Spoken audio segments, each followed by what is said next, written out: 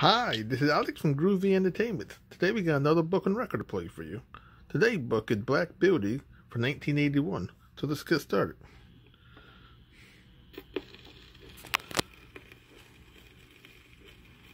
This is the story of Black Beauty, Anna Sewell's famous classic, retold and illustrated by Osney Brown. We can read along together, and whenever you hear Black Beauty whinny, like this, it means to turn the page. Ready? Did you turn the page? Good. Now we're ready to begin. Once there was a little black colt.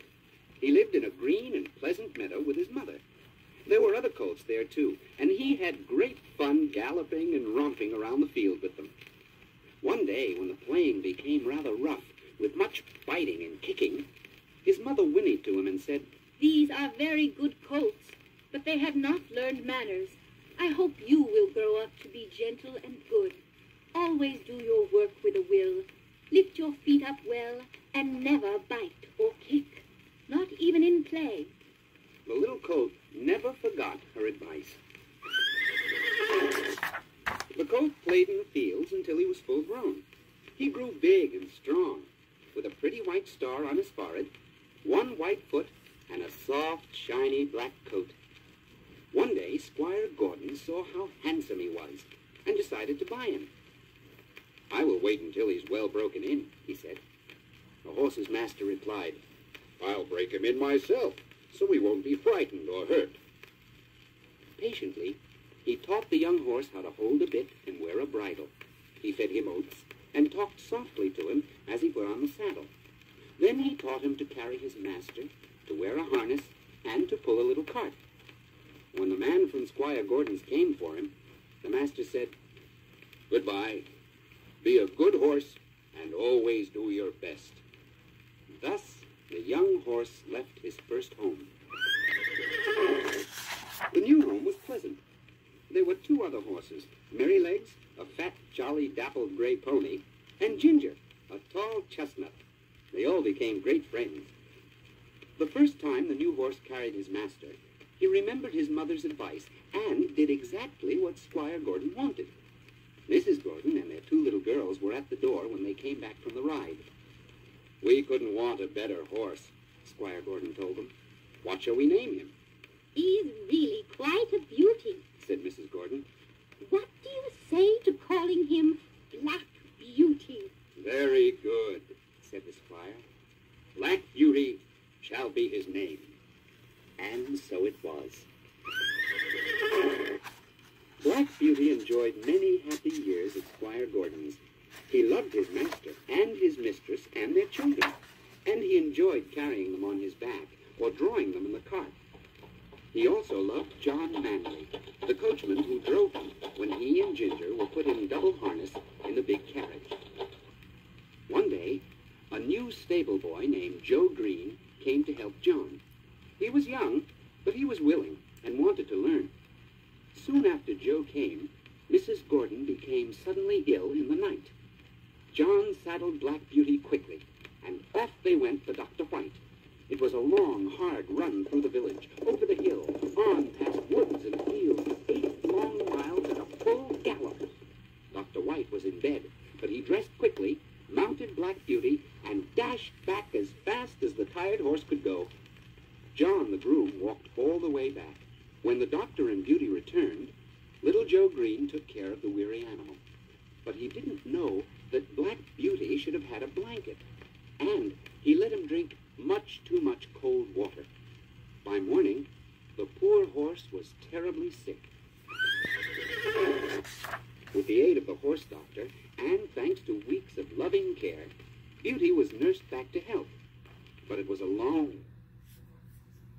time before he was quite well again. Black Beauty's speed and strength had saved Mrs. Gordon's life. But her doctor said she would have to move away to a warmer country. And now, if you'll please turn the record over, we can go on with the story.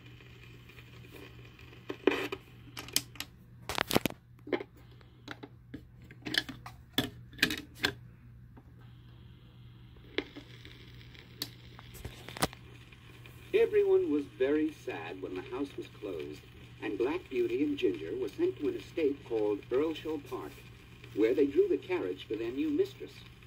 They were treated well enough, but there was one careless groom. Late one night, this groom was galloping Black Beauty home from the village over a stony road when one of the horse's shoes came off. The stones hurt the bare hoof dreadfully, but the groom whipped Black Beauty on at such speed that the horse stumbled and fell violently on both knees, sending his rider sprawling. Beauty's knees were badly bruised. Even after he had been put out to pasture for several months, his knees were still so swollen that his master couldn't use him. So, Black Beauty was sold to a livery stable. Now Black Beauty discovered how many different kinds of people there are in the world. He was rented to anyone who had the price of a few hours' drive. Some drove him well, but others drove him badly, whipping him up steep hills and never allowing him to rest. Poor Black Beauty. He was becoming so worn out that he could scarcely do his work. So the owner of the livery stable had to put him up for sale at the horse fair. There, Black Beauty met all sorts of horses, young and old, sleek and shabby. There were many kinds of men bargaining for them, too. One quiet, cheerful little man, after looking at the other horses, came back and bought Black Beauty. His name was Jerry Barker, and he was a London cab driver. When they came to Jerry's home in a little side street, his wife Polly and their children all ran out to see the new horse. It was a lively greeting. The children petted him. Polly brought him some bran mash, and Jerry rubbed him down. Then Beauty was put into a comfortable, clean-smelling stall. Life was not so bad after all. For several years, he worked as a cab horse. It was hard work, but Jerry was such a thoughtful driver that Black Beauty was quite happy. Jerry used to say to him, Do your best and leave the rest. Twill all come right some day or night. One New Year's Eve, it was bitter cold, with a sharp, driving sleet. Jerry and Beauty had taken two young men to a party. The men made them wait for two hours in the icy wind and sleet, and Jerry caught a bad cold.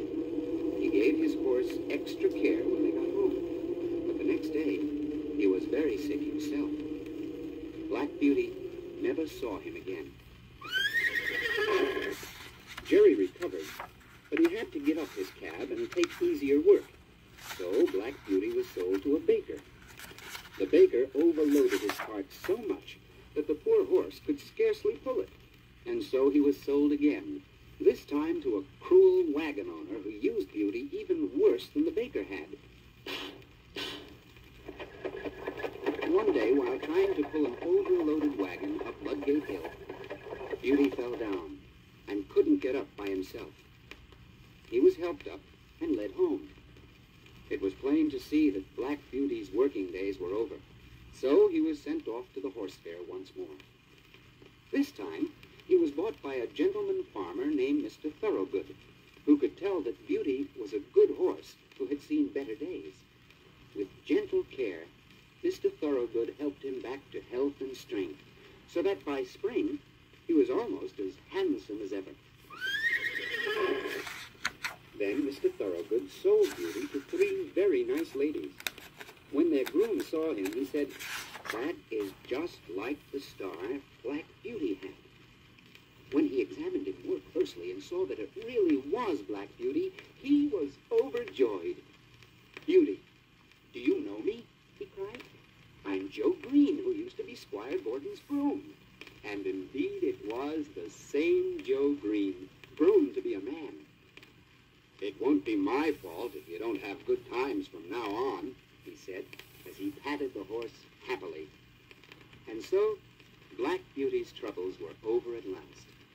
The ladies promised never to sell him again, and with Joe Green to care for him, and with pleasant green fields to run in, Black Beauty had nothing to fear. He had a happy home for the rest of his life.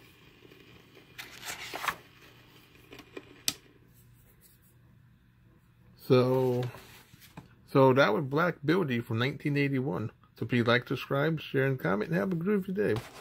And our next book will be